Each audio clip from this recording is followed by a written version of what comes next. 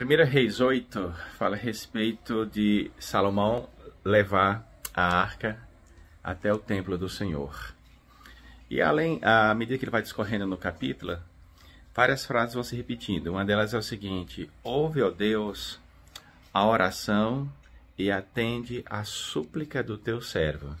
Existe uma diferença entre oração e súplica. Quando a gente vai orar ao Senhor, nós devemos fazê-lo sempre. Nós sempre começamos dizendo o seguinte: Deus Todo-Poderoso, Criador dos céus e da terra. Nós glorificamos a Deus por tudo que Ele é e pelas obras das Suas mãos. E em seguida, a gente costuma apresentar nossas necessidades diante do Senhor. E nós devemos fazê-lo. Ó oh, Senhor, vê isso. Ó oh, Senhor, vê aquilo. Ó oh, Senhor, quanta dificuldade, quantos problemas. Problemas financeiros, problemas na justiça, problemas de saúde, problemas na família, problemas de desemprego, né?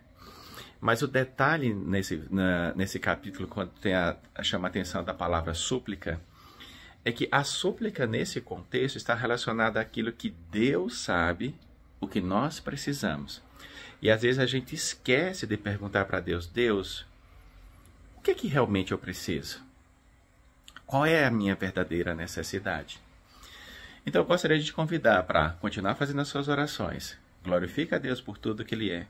Coloque diante do Senhor suas necessidades e petições. Mas não esqueça de suplicar ao Senhor.